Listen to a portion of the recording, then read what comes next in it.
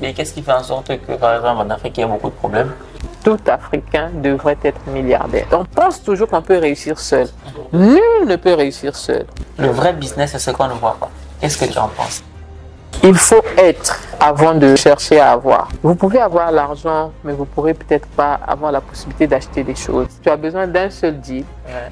une opportunité et une personne pour changer ta vie pour toujours.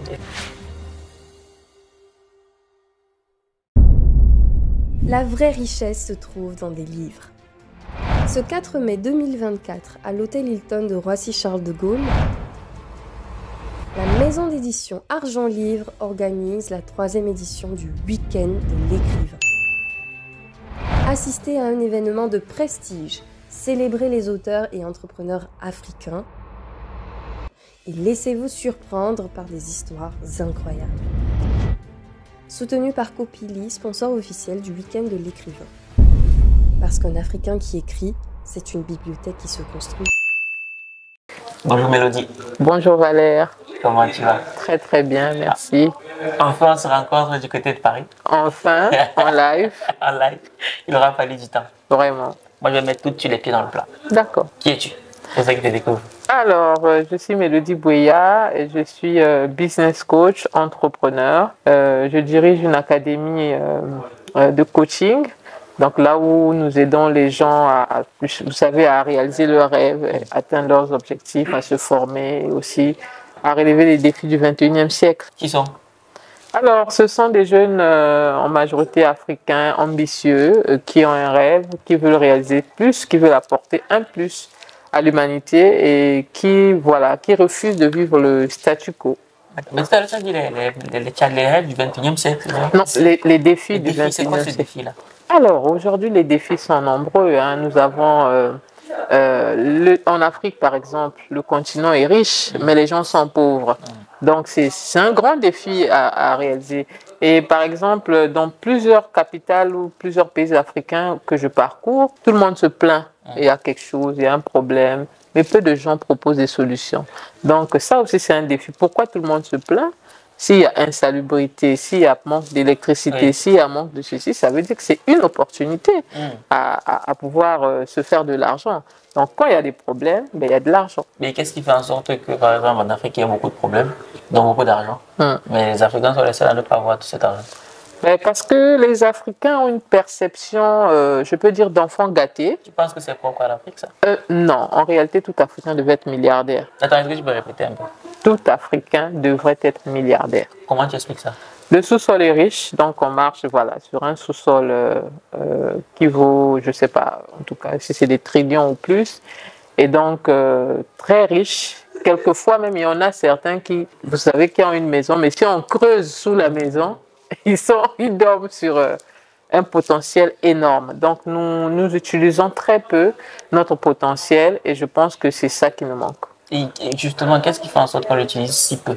Ben, ce qui fait en sorte que les Africains l'utilisent si peu, c'est d'abord une, une vision petite, très courte, et aussi euh, la mentalité du blâme. C'est-à-dire, ce qui nous arrive, c'est toujours de la faute de quelqu'un d'autre. Soit c'est le colonisateur, soit, vous savez, le président, soit on a, on a toujours quelqu'un accusé. On porte difficilement notre responsabilité pour pouvoir euh, aller de l'avant, quoi.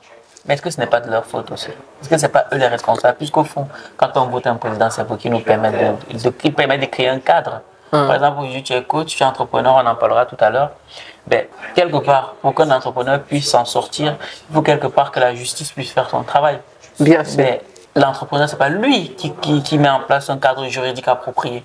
Est-ce que quelque part, c'est pas eux les responsables? Alors, euh, est-ce qu'on va, si on a déjà un genou à terre, est-ce qu'on pose le second à terre ou on trouve un appui quelque part pour essayer de se relever?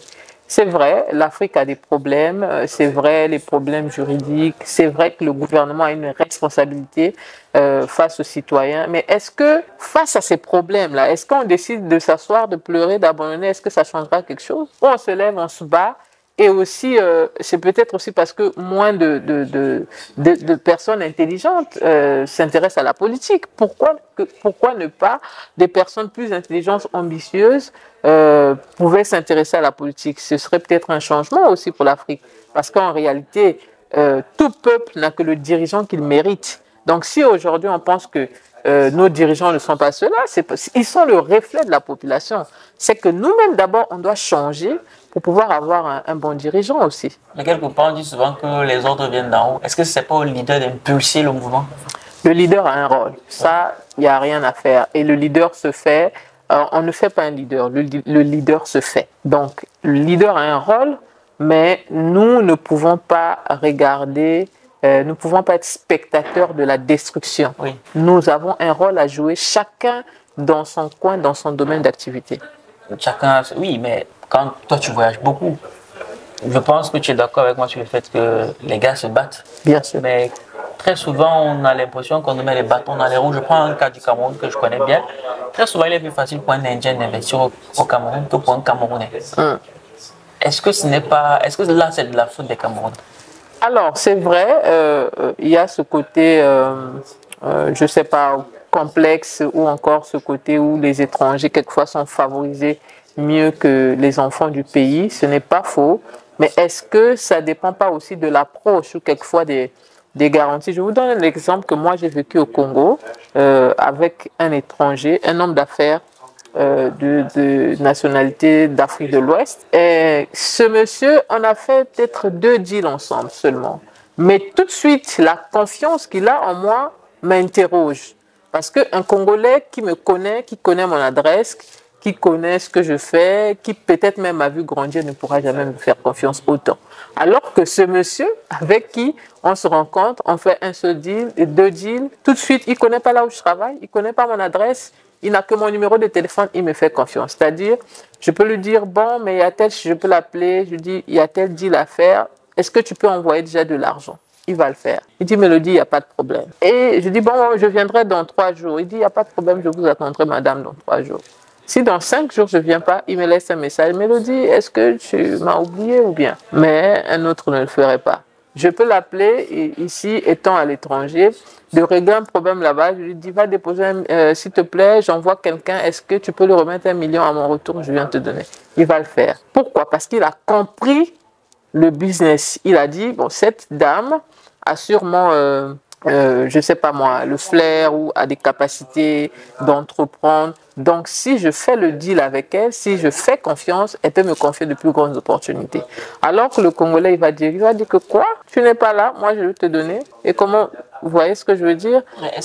Qu'est-ce qui, selon toi, explique alors le fait qu'il y ait cette euh, réticence à pouvoir travailler entre Congolais? Parce que là, j'ai l'impression que euh, c'est propre aux Congolais de ne pas se faire confiance entre eux Qu'est-ce qui explique ça? Bon, pas seulement au Congo, dans, dans, beaucoup de coins d'Afrique aussi, euh, les Africains, sauf en Afrique de l'Ouest où on trouve vraiment cette solidarité-là, euh, ils se mettent ensemble, ils travaillent ensemble, ils réalisent des grands projets quelquefois dans nos pays et nous on est spectateurs. Qu'est-ce que eux ils ont? C'est quoi leur secret? Pourquoi ils réussissent à développer ça? Et nous on n'a pas. Justement c'est toujours on pense toujours qu'on peut réussir seul. Nul ne peut réussir seul. Je n'aurais pas écrit ce livre si vous n'étiez pas là Valérie. Je n'aurais pas publié le livre si vous n'étiez pas là on en parlera tout à l'heure d'ailleurs rendez-vous après la dans la tempête tout pour moi oui nul ne peut réussir seul on a besoin des uns des autres or chez nous euh, en Afrique, aujourd'hui, on, regarde, les gens disent, on n'a pas de modèle. Mais c'est parce que les, aînés, ils font pas le retour d'expérience. On est d'accord. Chacun mange son pain dans son coin. Pourquoi? Mais parce que tu sais, souvent, il y a un dicton chez nous qui dit euh, l'argent n'aime pas le bruit. Mhm. Toi, tu en penses quoi de ça? Euh, C'est pas faux. C'est-à-dire, euh, on cesse de vivre dans les, dans les, dans les impressions. Parce que l'Africain, justement, aime impressionner. Je pense que c'est propre à l'Afrique. Quand on regarde sur les réseaux sociaux, ce pas les Africains qui sont beaucoup plus dans le, dans le fait de se montrer. Si, il y en a. Aujourd'hui, on a des influenceurs. Il n'y a pas que les Africains. Mais nous, on a aussi aujourd'hui cette façon de vouloir euh, impressionner, c'est-à-dire vivre une réalité que nous ne, vivons pas. C'est pour ça qu'aujourd'hui, oui, c'est humain. C'est pour ça qu'aujourd'hui, les réseaux sociaux, on dit toujours, c'est pas tout ce qu'il y a sur les réseaux, justement, qui est vrai. D'accord? Donc, euh, mais au lieu de, vivre euh, la réalité, hein, les gens veulent vivre un peu le virtuel. Euh, on veut vivre un peu tout ce que on voit, les stars, etc. Alors quelquefois, c'est pas notre réalité. Donc moi, je pense que euh, l'argent n'est pas le bruit, c'est vrai. Mhm. Il y, a, y a, y, a, une dimension où on travaille, c'est le résultat qui doit faire le bruit à notre place. Hmm. Ce n'est pas euh, à montrer des billets de banque euh, sur les réseaux, à sortir un sac d'argent, à, à faire telle ou telle chose qui fait que, voilà, qui, qui prouve que vous avez réussi. On n'a pas besoin de ça, mais on a besoin du résultat, on a besoin de laisser un héritage conséquent. Qu'est-ce que vous allez laisser quand vous partirez? C'est pas des impressions. Aujourd'hui, on peut impressionner par Gucci, Vuitton, etc. Mais après, à quoi ça sert? Vous voyez? Donc moi, je pense que oui, l'argent n'aime pas le bruit, euh, mais sans argent, on peut rien. Donc il faut bien que euh, quelque part que l'argent que nous avons soit investi pour la bonne cause. Euh, par exemple, dans ce que vous faites, dans des conférences, etc. C'est de l'argent qui part mais qui ne parle pas. Quand on voit l'événement, on sait que c'est de l'argent. C'est pas rien, mais c'est pas de l'argent qu'on a vu euh, sur les réseaux sociaux. Justement, tu fais bien de parler des réseaux sociaux parce que tu fais partie de ceux-là qui, accomplissent beaucoup de choses, qui voyagent beaucoup, mais qui ne sont pas beaucoup sur les réseaux. Bon. Moi, ma question est celle de savoir. euh, Il y, a une- il y a une phrase que, qui, que j'ai- j'aime à, à partager avec les gens avec qui je travaille c'est le vrai business, c'est ce qu'on ne voit pas. Qu'est-ce que tu en penses Bien sûr, 100% d'accord. Voilà. Est-ce que tu aurais euh, une anecdote pour nous montrer à quel point euh, cet aspect-là est pertinent? Alors, euh, bien sûr, vous savez, euh, il y, a, y, a, y a une citation qui dit Il faut être avant de, de chercher à avoir. Il faut être avant de chercher à avoir. Donc, quand nous sommes, c'est-à-dire la vraie personnalité, c'est qui nous sommes. C'est pas ce que nous avons. On peut avoir des sacs d'argent, des mallettes d'argent, mais ne, ne, ne rien faire de ça. Qui êtes-vous réellement? Quelles sont vos ambitions? Quelles sont vos perspectives? Qu'est-ce que vous pensez laisser après vous? Qui êtes-vous? Quand vous vous asseyez devant un miroir Qui êtes-vous? Qui est Mélodie? Qui est Valère? Ça, c'est l'essence de la vie.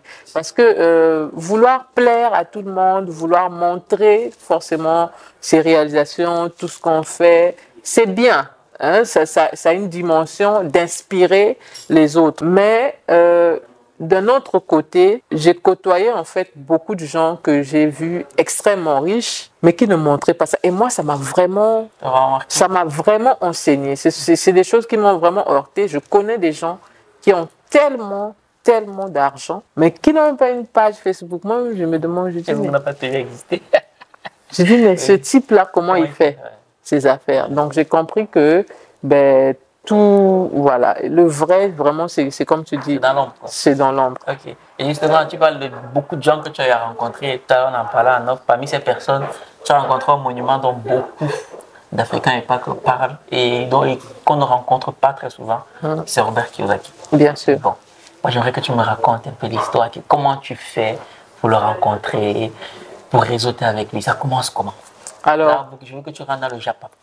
D'accord. Alors, Robert Kiyosaki, en tout cas, c'est historique. c'est euh, C'était un moment très important pour moi. Ça se passe en 2019 euh, et je me trouvais en Afrique du Sud. Et l'un de mes coachs, JT Fox, euh, m'a appelé pour me dire que euh, Robert Kiyosaki avait un programme en Afrique du Sud. et donc, tout de suite, j'essaie de, on m'envoie le lien, j'essaie de prendre un ticket. On me dit que c'était déjà sold out. Et donc, il fallait que je reparte vers le coach euh, et que le coach voie comment il devrait euh, euh, forcer, parce que c'était mon rêve. J'avais lu euh, le livre Père riche, Père pauvre. On a Il- tous lu. Hein? il y a six ans, avant ma rencontre avec Robert Kiyosaki. Donc, six ans avant. Et ap- après ça, j'avais pris l'engagement. J'avais dit, ce monsieur, avant sa mort, je dois le rencontrer. Et donc, voilà que Dieu a fait des circonstances que, euh, donc, je me retrouve euh, en pleine euh, session de, de, de travail pendant deux jours avec Robert Kiyosaki à Johannesburg. Et c'était- vraiment un moment historique. Et donc, j'ai eu l'occasion d'échanger avec Robert Kiyosaki, surtout sur quelque chose de très fort qu'il m'avait dit. Il m'avait dit, Mélodie, les années qui vont venir, vous pouvez avoir l'argent, mais vous pourrez peut-être pas avoir la possibilité d'acheter des choses. Attends, attends, attends, attends, attends, attends, attends. Est-ce que tu peux répéter? Je ne sais pas si je comprends. Robert Kiyosaki m'avait dit qu'il va arriver un temps où les gens auront du cash, mais ne seront pas en mesure d'acheter des choses. Je lui ai dit, mais pourquoi et comment? Et quelles recommandations donc vous faites pour ces années qui viendront? Il m'a dit, stocker à manger. Chez lui, il y a une banque euh, alimentaire, donc où, je sais pas, en tout cas un stock euh, suffisant de nourriture. Il m'a dit stocker à manger. Et vous qui êtes en Afrique, intéressez-vous à l'agriculture parce qu'il y aura un temps où même les aliments que vous mangerez ne seront plus, euh, euh, ne seront plus Bio, voilà, de qualité. Oui. Et, et- et donc, vous qui êtes en Afrique, intéressez-vous à, à- à l'agriculture et aussi stocker à manger. Et donc, tout de suite, je me dis, ben, tiens, ce type, il raconte les problèmes des riches.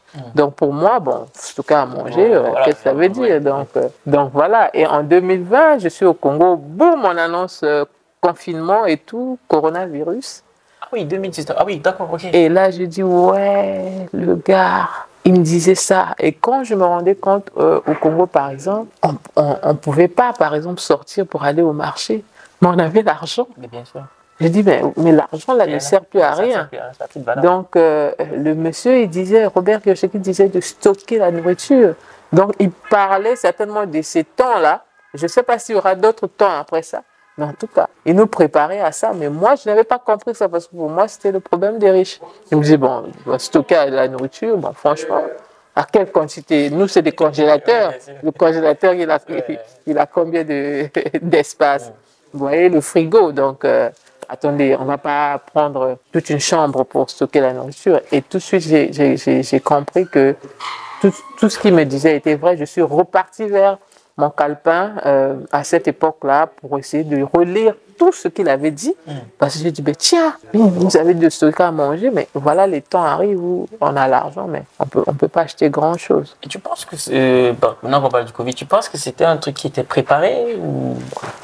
Alors, franchement, jusqu'aujourd'hui, j'en sais rien, mais quelqu'un de la taille de Robert Kiyosaki, faire des, ré- d'ailleurs, lui, il aime faire des révélations et tout. Je pense que ça, certainement, à un, à un niveau supérieur, les gens pouvaient être au courant de, de, ce, de- voilà, de, Ouais. de ce qui, a- qui devrait arriver, je pense. Ok. Et lorsque, parce que c'est que c'est pas le seul que tu as rencontré, et lorsque tu, tu rencontres un monsieur comme lui, euh, c'est quoi qui t'a le plus marqué chez lui?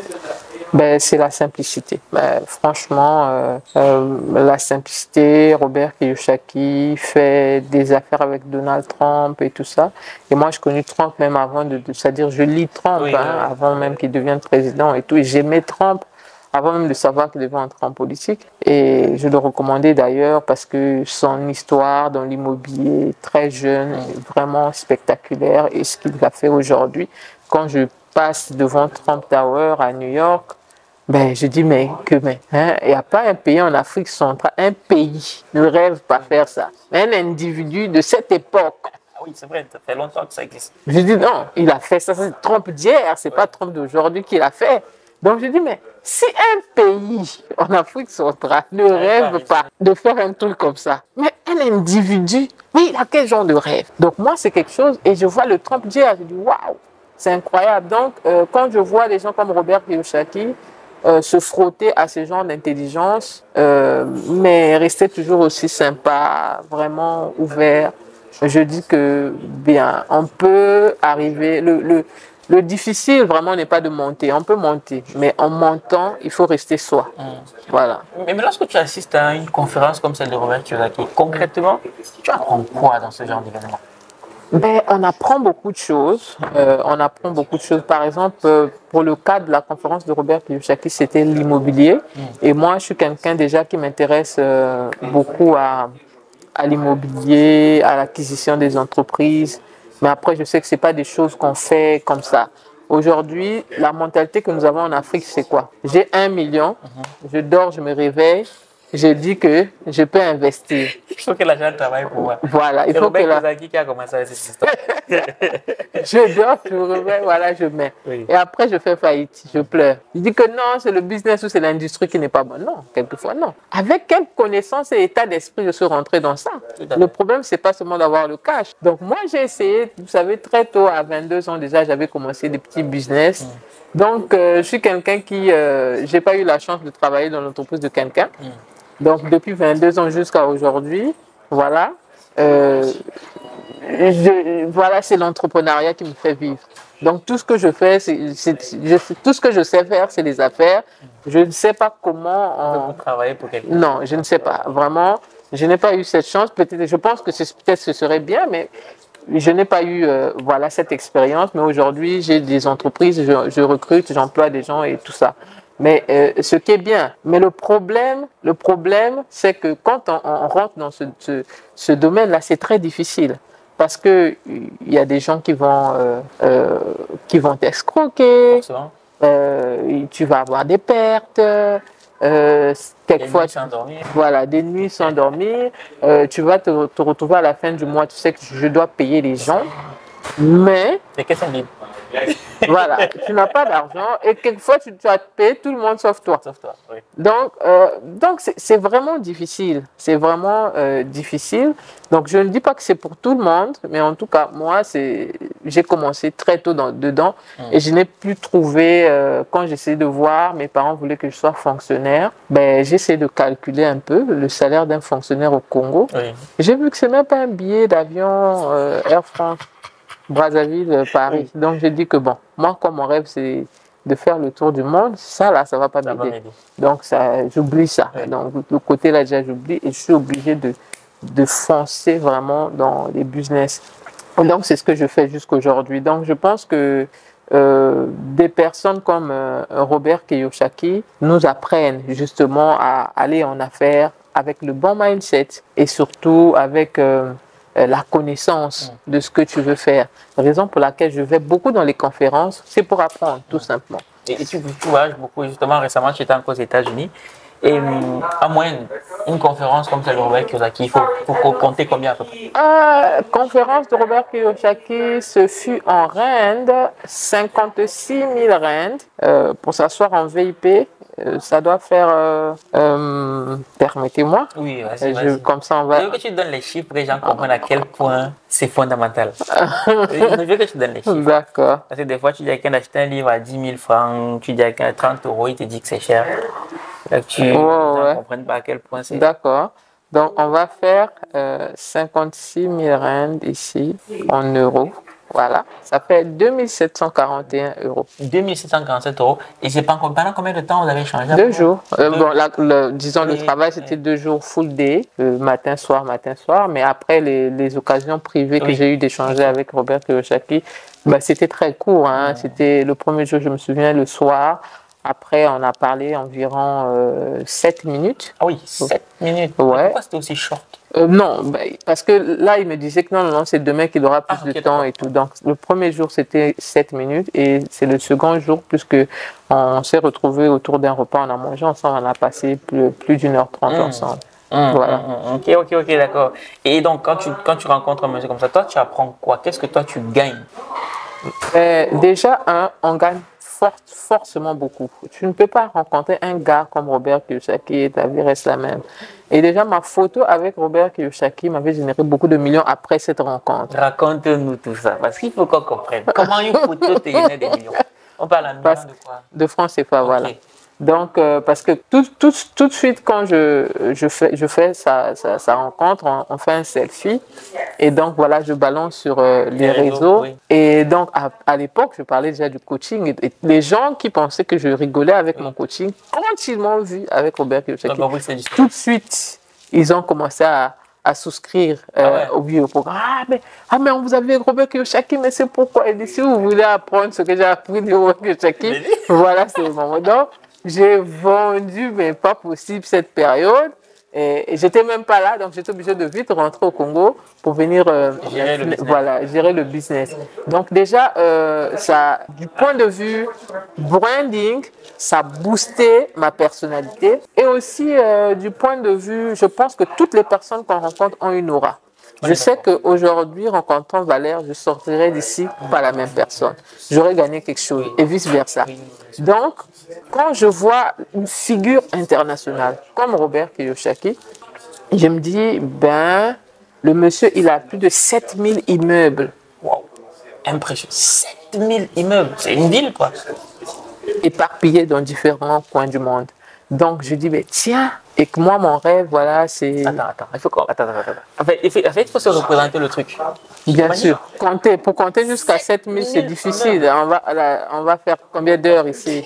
Et tu vois, 1, 2, 3, 4, 5, jusqu'à on 7 parle d'une personne. Une personne. Et pendant ce temps, on a des gens qui travaillent toute leur vie pour avoir une maison. Mhm. Et on parle d'un homme Mm. qui a deux oreilles, une bouche, Voilà. deux yeux, un Voilà, cerveau, voilà. Qui a sept 7000 immeubles. immeubles. 7000 immeubles. Énorme. Énorme. Énormissime. Vraiment, ça, c'est quelque chose qui m'a dit. J'ai dit, waouh. Donc ça crée un Comment déblocage dans le cerveau. Exactement. Donc, c'est vraiment déjà euh, vivre ces expériences-là, ça m'a ouvert sur euh, le monde un peu des possibilités. Je me dis que finalement, tout ce qu'on croit impossible, c'est possible. Donc, il suffit, si Robert Kiyosaki l'a fait, pas en une année, pas en Oui, deux bien ans, sûr, il faut du temps. avec le temps. Mais il a pu le faire. Donc ça veut dire pour moi aussi, je me dis, mais bon, euh, c'est vrai, il est né en Amérique, on n'a pas peut-être les mêmes chances euh, euh, avec le pays, etc. Bon, moi, je suis né au Congo, ben, je vis au Congo, j'entreprends au Congo. Mais je pense qu'il y a beaucoup d'opportunités au Congo que les gens ne voient pas.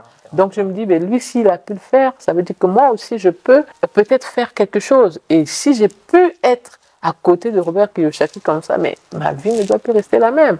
Parce que je sors de là avec quelque chose spirituellement, euh, intellectuellement et, et mentalement. Donc, euh, et du coup, question bateau comme ça, est-ce que tu es en- toujours en contact avec lui? Par e- email, c'est vrai que j'ai j'ai pas euh, son numéro personnel, mais il m'avait donné sa, sa boîte mail. Donc, euh, quelquefois, nous, nous échangeons. Quand j'ai des défis, quoi, je, je laisse un mail, je demande conseil et tout, voilà. Mais euh, je, je, je compte euh, d'ici 2025 chercher à le revoir. Ouais. Voilà, face à face. Cette fois-ci, aux énorme, énorme, énorme. Je pense que tu es la seule personne que je connais qui a rencontré Robert Kiyosaki. Je pense que je suis pas le seul. je pense que je suis pas le seul. Et donc, euh, en, en dehors de Robert Kiyosaki, c'est que tu as encore rencontré un gros poisson, c'était qui? Brian Tracy. Brian Tracy, Mm. euh, l'auteur du livre Avaler le capot. Voilà. D'accord. Et donc, lui, comment ça se passe? Ben, lui également, c'est- en conférence. Donc, j'ai souscrit, euh, j'ai pris un ticket euh, pour aller suivre parce que moi, chez Brian Tracy, ce que j'apprenais vraiment, c'était la vente. Vous savez, il parle beaucoup de, de la vente et je sais que en tant qu'entrepreneur, Ouais, avec ma vision, ben, si je ne sais pas vendre, on oublie tout. On oublie tout, on oublie. Voilà. Donc, euh, du coup, je dis, ben, pourquoi ne pas aller apprendre chez les grands? Et voilà, donc je me retrouve dans, dans, ce, dans cette conférence de Brian Tracy, euh, d'une demi-journée, euh, d'une demi-journée. Mais par contre, euh, avec Brian Tracy, j'ai pas vraiment eu l'occasion de, De connecter.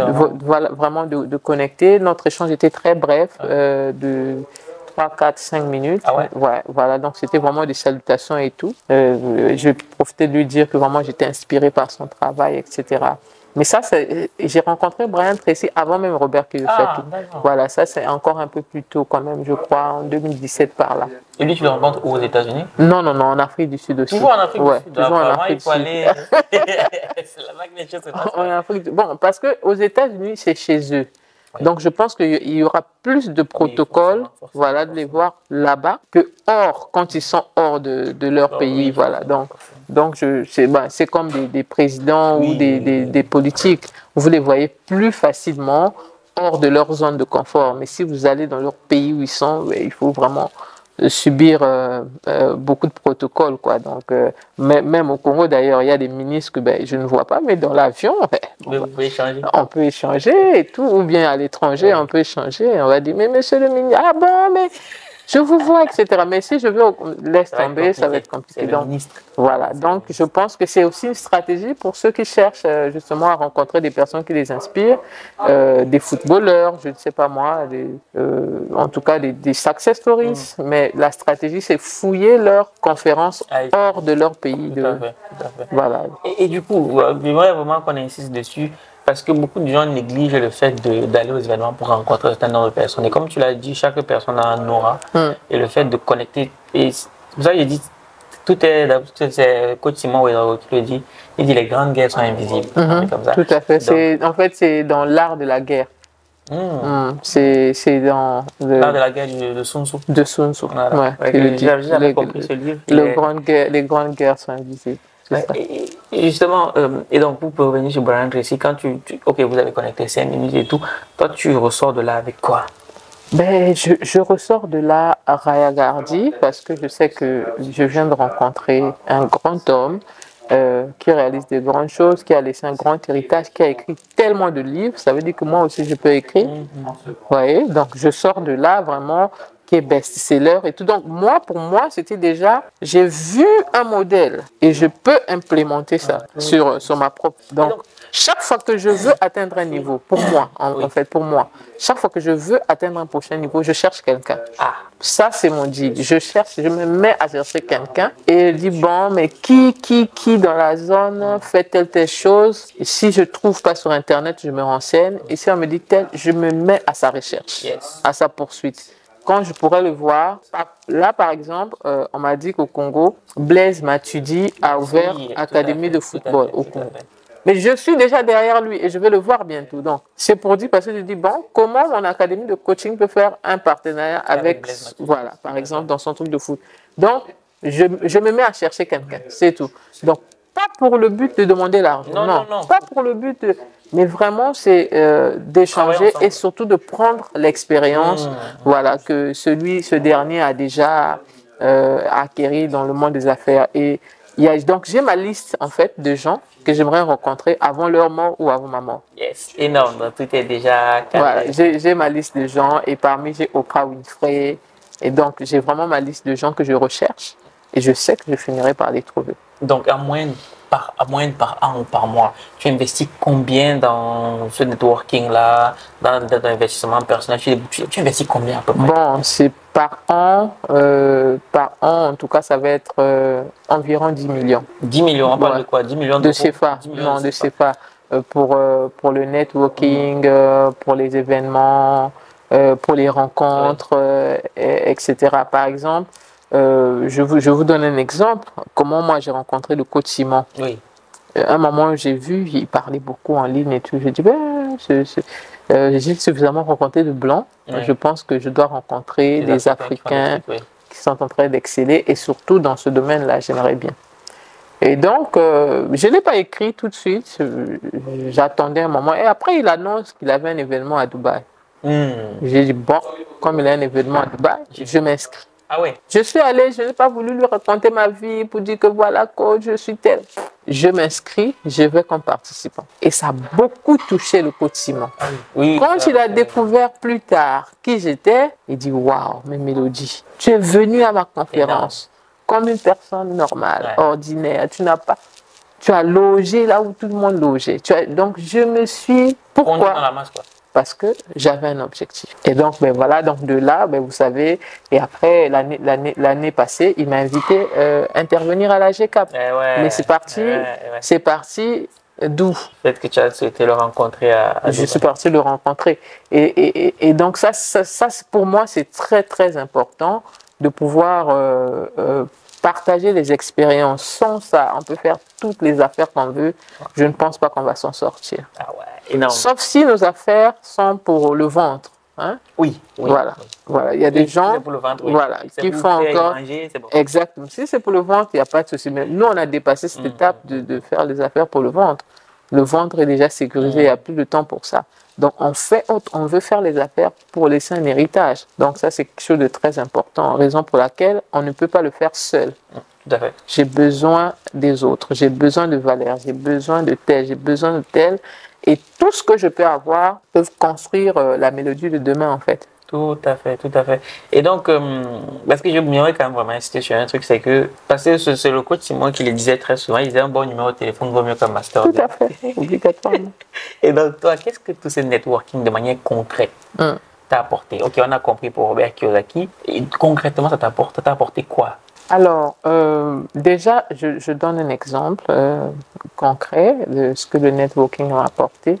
En 2000, euh, euh, je crois bien 15, je me retrouve dans une conférence et, et là-bas, je vois un coach qui racontait qu'il avait fait 9 pays en 11 jours. Waouh. 9 pays en 11 jours. J'ai dit, mais 9 pays en 11 jours. Et c'est un pays par jour en moins. Et quand il citait les pays, il parlait d'Australie, qu'il était ici, qu'il était qu'il était. Non, d'autres pays étaient à côté, mm. qu'il était en Allemagne, après il était à Budapest. Je dis, mais 9 pays en 11 jours. Un individu. À cette époque, je n'avais pas encore commencé à, à voyager euh, comme je voyage aujourd'hui. Donc j'ai dit, ouais, je dois faire, être un jour comme ce monsieur. Et à la fin, j'ai cherché à le rencontrer. C'est lui qui m'a dit que Mélodie, tu as le potentiel de devenir coach. Je dis qu'au Congo, qui connaît le coaching la réponse que je vais donner.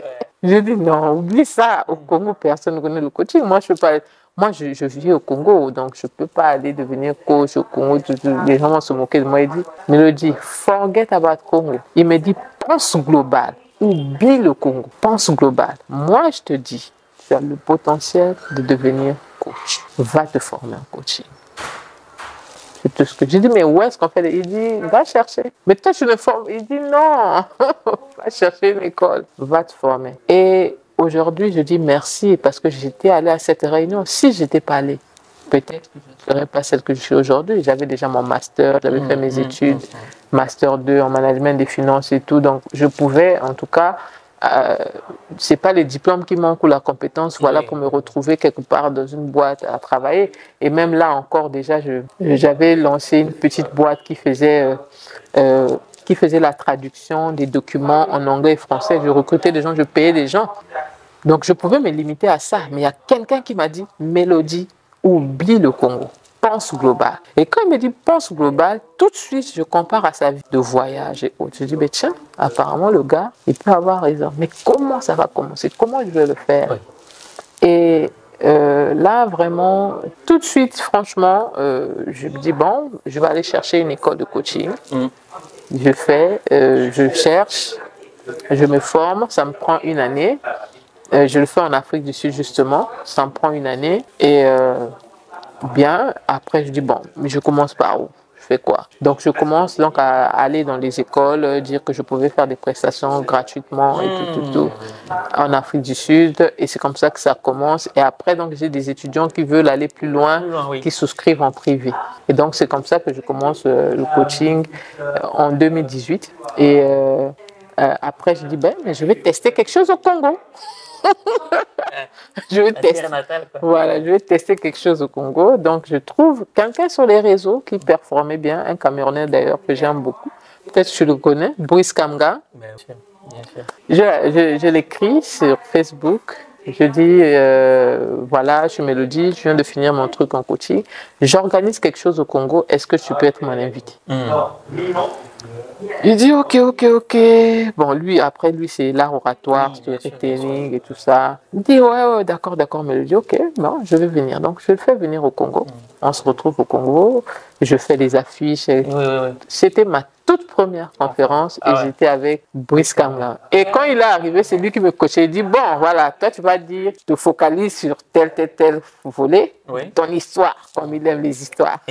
et, Une histoire bien, bien racontée, vos diamants. Voilà, c'est ça. Donc, euh, toi, tu te focalises sur ça, ça. Ok, ok. Et on a fait une belle conférence. On avait environ. Euh, euh, 40 à 45 participants. Pour un événement. Voilà. Bien, parce qu'on a tapé les poteaux terribles. et donc, c'était, euh, voilà, le ticket, c'était quelque chose de 10 000 francs. franchement, comme ça. Un événement, ça. Et, et, je pense que ben, il, il, il, m'a beaucoup appuyé et tout ça. Et après, il a vraiment aimé ce que je faisais. Il m'a vraiment encouragé. Il dit, Mélodie, tu devrais continuer, tu devrais continuer. Ça, c'est avant qu'il aille au Canada. Et donc, euh, ben là, d'ailleurs, on va avoir un, événement avec euh, Brice, on le faire revenir au Congo ah, cette année, en fin d'année 2024 il reviendra au Congo. Et moi aussi, je serai au Canada d'ailleurs cette année aussi mm. pour un événement avec Brice. Donc, euh, euh, ben, c'est parti de là. Bon, vous voyez un peu la puissance d'un contact ou d'une rencontre. Mm, mm, Et euh, mon coach me disait souvent, celui qui m'avait dit, tu as le potentiel de devenir coach, il me disait souvent, Mélodie, it takes one deal, one opportunity and one person. One deal, il faut traduire en français. One deal, donc tu as besoin d'un seul deal une opportunité et une personne pour changer ta vie pour toujours. C'est vrai, hein. tellement Donc, tant que tu n'as pas rencontré cette personne, tu es obligé de continuer à rencontrer, à rencontrer, à rencontrer, jusqu'au jour où tu rencontreras cette personne qui va changer ta vie pour toujours. C'est pour ça que chez nous, comme on dit, on est quelqu'un derrière quelqu'un. Voilà. Malheureusement, beaucoup de gens le disent, mais ils ne se rendent pas compte à quel point c'est fondamental. Voilà. Donc, en 2018, j'ai demandé à Brice de venir. Il est venu. Et là, Brice me dit, Mélodie, viens au Canada. Tu vois mm. et, et, plus d'autres projets que nous avons ensemble. euh, à faire d'ici d'ici 2025. Donc, c'est vraiment important. Mais si je n'avais pas euh, pris le risque voilà, de faire venir quelqu'un, vous savez, avec tout, tout ce qui va avec, sûr, bien sûr, bien sûr. Si je n'avais pas pris le risque pour un premier événement, personne ne me connaît, euh, en tout cas pas dans ce- cette sphère, et même dans d'autres sphères qui me connaissaient à cette époque, je ne pense pas. Je n'étais pas une figure publique Oui, comme aujourd'hui au Congo où on me reconnaît un peu partout, mais à cette époque, personne ne me connaissait. Donc, inconnu, euh, sans argent, vous savez, inconnu et pauvre, c'est- c'est très difficile dans un pays pauvre. C'est compliqué. c'est compliqué. C'est très, très compliqué. Et donc, euh, voilà, euh, Brice, euh, d'ailleurs, un coucou à lui, il a cru en moi. Il est venu et on a travaillé ensemble. Il m'a dit, Mélodie, tu es dans la bonne direction. Et c'est là que je dis, ben ouais, certainement oui. Donc, je m'accroche, voilà. D'accord, ok. Bref, tu as compris. Il y a, un dicton, il y a une citation que j'aime beaucoup qui dit L'argent n'a pas les gens, ce sont les gens qui ont l'argent. Exactement. Pour avoir l'argent des gens, il faut entrer en contact avec les gens. Exactement. Malheureusement, les gens restent chez eux, ils attendent que les contacts, les ouvertures, les opportunités viennent les trouver dans le salon. C'est pas possible. Il faut se bouger, il faut sortir, il faut aller chercher, il faut aller à la, à la rencontre, obligatoirement. Si tu ne fais pas le premier pas, ça ne viendra jamais. Si je n'avais pas appelé Brice, peut-être qu'on ne se serait jamais connu. Ah, si je n'étais pas allé à Dubaï, rencontrer le coach Simon, peut-être qu'aujourd'hui je le verrais juste sur les réseaux. Oui, ben oui, ben oui. Voilà. Si je ne suis pas venu à Paris rencontrer Valère, ou si je ne l'avais pas écrit, parce que, parce que le contact commence aussi par là. Il faut oser écrire. Donc si je ne vous avais pas écrit, peut-être qu'on ne se serait pas connu. Non, non, ça c'est sûr. Donc euh, ça commence, il faut avoir le courage. Écrivez. Si vous aimez, vous admirez quelqu'un qui fait bien, qui travaille, qui fait un bon travail, qui vous inspire. Aujourd'hui, c'est facile aujourd'hui. Tu n'as pas besoin de numéro. Facile. Instagram, DM, c'est tout. C'est facile Oui. Non, aujourd'hui. mais ça c'est clair. hein. Et vraiment, le, le volet euh, aller aux événements, moi, ça me touche beaucoup plus parce que il y a trois ans, je me disais, Internet existe, le monde virtuel existe. Je n'ai pas besoin de faire des trucs en présentiel. Je vais tout faire sur Internet. Non. Et c'est jusqu'à ce que je me rends compte qu'on a une, on progresse, mais on plafonne. Je commence à me dire, il manque un truc. Il y a un truc qui compte, il y a un truc qu'on ne sait pas. Et donc, c'est en 2022 qu'on s'est dit, bon, peut-être qu'il faut qu'on commence à rencontrer des gens. Mm. Il a fallu que j'ai un événement en présentiel pour la première fois pour que je comprenne que l'Internet, c'est bien, mais il n'y a rien qui remplacera la relation que tu Bien as, sûr. la connexion que tu as avec les gens en Bien présentiel. sûr, bien sûr. Et les gens aimeraient parce que aujourd'hui il y a tellement de scams en, en ligne et donc les gens aimeraient ce contact et euh, tellement de gens m'écrivent? Mélodie, on veut te rencontrer, je veux venir. Mais je vais les recevoir comment? Au Congo, tellement de gens, le nombre de messages que je reçois au Congo, des jeunes qui veulent me voir, des jeunes qui veulent. Mais je ne peux pas tous les recevoir. Mais si j'organise un événement, Venez sur place. venez sur place et ça facilite les choses. Et là, tout de suite, chacun peut avoir deux, trois minutes avec moi et tout. Donc ça, c'est c'est- les événements, c'est très important. Et, et aujourd'hui, les gens peut-être ne trouvent pas l'importance d'investir, vous savez, 50 000 francs, 100 000 francs pour aller à un événement. Rien. Ils, ils- ils perdent, ils perdent énormément parce que c'est une opportunité. Il n'y a pas que celui qui organise l'événement que tu Il y rencontres. a des gens qui sont Tous ces gens qui Oui, sont là, Ce sont des. C'est- c'est c'est incroyable ce que vous pouvez gagner avec ces gens. De ouf, de ouf. Donc, euh, franchement, et ce n'est pas des gens que vous allez rencontrer, qui vont passer certainement tu les devant vos maisons. tu- tu les Non. Donc, il faut y aller. euh, prenez pas, achetez des livres. En tout cas, le bon investissement, le premier investissement, c'est ça. L'investissement en soi. Et l'investissement en soi, c'est quoi? Investir sur, voilà, sur votre personne, sur ça. Je voyage tout le temps, mais croyez-moi, je ne vais pas avec tous mes habits. Ni ma voiture, nulle part. C'est avec le Tout reste, ma maison reste et tout, mais ma tête va partout. Et donc, si vous voulez investir, investissez dans tout ce qui rentrera dans votre tête et surtout investissez dans les événements, des conférences qui peuvent vous booster et aussi qui peuvent vous aider à rencontrer des gens qui ont les mêmes rêves, les mêmes ambitions que vous.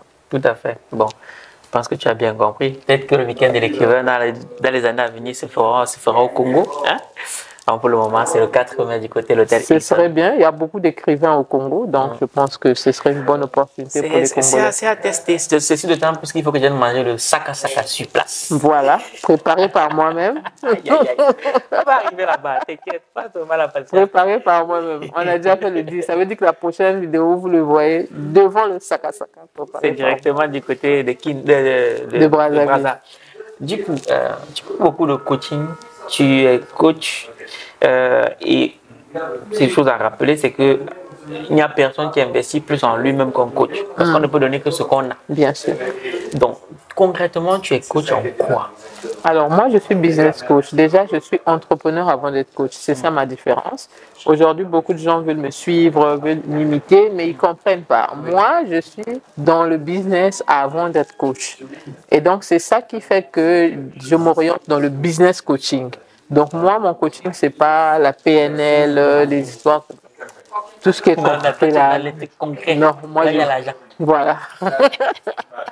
Donc, euh, vraiment, nous aidons les gens à se lancer en affaires, à faire une reconversion professionnelle, euh, voilà, des partenariats d'affaires. Vraiment, moi, c'est ça, c'est le, business coaching.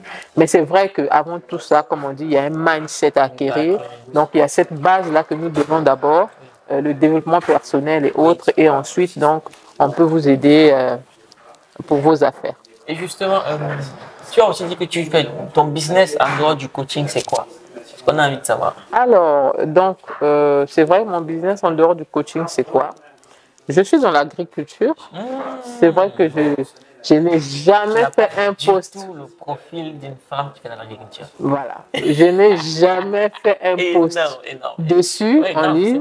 Je n'ai jamais filmé mes champs. Ouais, je n'ai jamais. Euh, d'ailleurs, là, nous partons au Brésil en début avril pour euh, le, forum euh, agricole Congo-Portugal-Brésil, quelque chose comme ça. Donc, étant donné le, le travail que nous faisons dans l'agriculture, donc le ministère chez nous au Congo nous a appelés pour aller représenter le Congo dans l'agriculture. Donc vous voyez un peu déjà ce que nous faisons, mais on n'en parle pas. Pourquoi? ben Parce que les vraies choses, justement, on ne dit pas. Donc c'est vrai, je communique plus sur ma cassette de coaching pour inspirer, mais après ceux qui me côtoient vraiment, ils savent un peu ce que. Donc je suis dans, dans les projets agricoles, on fait la transformation de la farine de manioc. Je ne suis pas seul dans ce projet, bien sûr que j'ai un partenaire euh, qui est vraiment, euh, qui maîtrise les aspects techniques de, ces, des champs, etc. Et c'est souvent lui qui est sur le terrain, dans les champs. Moi, non, puisque je suis euh, de temps en temps parti, mais quand je suis au Congo, je fais souvent un tour, etc. Donc, on est dans la transformation de la farine de manioc. Donc, on vend du, foufou, donc la farine blanche, bien emballée, tout. Nos produits sont en supermarché. Hmm. Euh, voilà. Et aussi, on a des grosses commandes. En ce moment, par exemple, on a quelqu'un en France qui a besoin euh, qu'on puisse lui vendre, nous, nous fournir nos, produits. Donc, on a participé récemment à, au forum qu'il y a eu Congo-Italie récemment. Moi, je n'étais pas là parce que j'étais occupée, mais mon partenaire euh, est, allé à ma place. Donc, j'avais mis son nom à ma place. Donc, il est parti pour justement travailler, représenter notre structure qui travaille dans ce domaine-là. Euh, cette année, par exemple, on a planté près de 25 hectares de maïs. Hmm. Et donc, voilà, on attend, on attend nos, de retour. De retour. Voilà. Tout à l'heure, tout à l'heure, ce qui m'a intrigué lorsque je faisais les installations, c'est que tu disais, on disait, test son, tu disais 25 milliards 200 milliards. Ça montre que tu es très à l'aise avec les chiffres. Et moi, j'aime les chiffres aussi. Est-ce que tu peux nous donner quelques chiffres en ce qui concerne le business de l'agriculture? Pour qu'on puisse mesurer un peu la part de marché. Waouh, c'est énorme. Euh, l'agriculture, déjà euh, au Congo par exemple, euh, nous sommes 5 millions d'habitants, s'il faut dire ça. Et le manioc, est consommé quasiment par tous les Congolais. prenons le cas qu'il y a 4, il y a 1 million qui ne mangent pas le manioc. Donc, ce qui est quasiment difficilement possible. Sinon, on mange le manioc sous différentes formes. Si ce n'est pas sous cette forme, sur celle-ci, sur l'autre. D'une manière ou d'une autre, D'une manière ou d'une autre. Donc, si, euh, et donc le, manioc représente un marché de milliards de francs CFA. Euh, euh, un marché de milliards. Donc, si un Congolais dépense ne fût que 100 francs CFA chaque jour pour sa consommation en manioc en, en, 30 jours multiplié par les 4 millions d'habitants. Ça fait pas mal. C'est beaucoup d'argent. En une année, ça fait euh, euh, une valeur d'environ 500 milliards. Mais que les gens négligent. Si tu dis à quelqu'un, euh, ma mère fait du manioc, un, un, un, jeune homme, un adolescent de 14 ans, dire à ses amis, ma mère fait du manioc, peut-être qu'il va se sentir gêné ou humilié mmh. ou quoi. Alors que il y a du potentiel. Mm. Et je connais un aîné au Congo qui, qui a écrit un livre, L'injustice du manioc. Ah ouais. Ça dit que tout le monde mange le manioc, mais personne ne veut s'identifier au manioc. Énorme. C'est tellement bien dit. Non, les gens, ils mangent, mais euh, officiellement, ils veulent faire comme si que non, voilà, voilà, non. non. Alors qu'il y a beaucoup d'argent. Donc, moi, quand j'ai j'ai vu seulement l'industrie du manioc, je dis, ça, c'est un bon deal, on doit le faire. Et bon, nous, on a préféré le faire en forme de farine, donc foufou, parce que toujours dans le but de l'expansion, emmener à l'étranger et tout. Et en dehors de ça, par exemple, j'ai j'ai planté un verger de plus de 100 pieds d'avocatier. Ah ouais. Euh, ben, ça, c'était quand? L'année passée. Euh, non, non, 2022. Voilà, 2022. Donc, bon, ça a grandi déjà. Bon, on attend maintenant aussi les fruits. Donc, j'investis. Euh, voilà, ça, c'est l'un de mes secteurs. Oui. Je suis dans l'agriculture. C'est vrai que j'ai lu quelque part, quand tu as trouvé là où tu achètes le bon pain, Oui. euh, attention, quand tu as trouvé un endroit où tu achètes un bon pain, ne montre pas la boulangerie Mhm. parce que ce qu'ils vont faire, c'est qu'ils vont assassiner le boulanger et ils vont incendier la boulangerie. Donc, continue à aller acheter ton pain dans le calme. c'est comme toi, tu as dit, l'argent n'est pas Le business, c'est pour pas. ça que euh, euh, chez moi, euh, au, au Congo, les gens ne comprennent pas. Mais celle-là, comment elle fait? Ils se disent que c'est le coaching seulement qui me fait voyager, qui, qui, qui, qui, qui.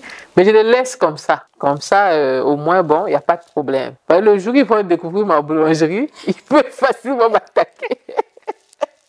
Mais Est-ce que ça serait pas bien qu'il y ait de plus en plus justement de, de, de, de, de, de- de Congolais qui... Non, j'encourage beaucoup de gens à, à investir dans l'agriculture, mais comme je dis, euh, en, en tête à tête et tout, vraiment, je leur montre ce que nous on fait et tout, mais du genre en public à la télévision, ça sert à rien, je ne Oui, raconte oui. pas. Et, et tout, donc les gens me connaissent dans la casquette de business coach, d'entrepreneur, mais on ne sait pas précisément dans quoi. Euh, donc voilà, donc ça c'est l'un de mes côtés. Je suis aussi dans l'immobilier, je fais des investissements, puis voilà quoi. Forcément, forcément. Et donc, euh, est-ce que tu as l'impression que le, le- le marché du manioc, par exemple, parler de cela, as l'impression que c'est un marché qui est détenu par les Congolais au Congo? La vraie richesse se trouve dans des livres. Ce 4 mai 2024, à l'hôtel Hilton de Roissy-Charles de Gaulle, la maison d'édition Argent Livre organise la troisième édition du Week-end de l'écrivain. Assistez à un événement de prestige, célébrez les auteurs et entrepreneurs africains et laissez-vous surprendre par des histoires incroyables. Soutenu par Copili, sponsor officiel du Week-end de l'écrivain. Parce qu'un Africain qui écrit, c'est une bibliothèque qui se construit.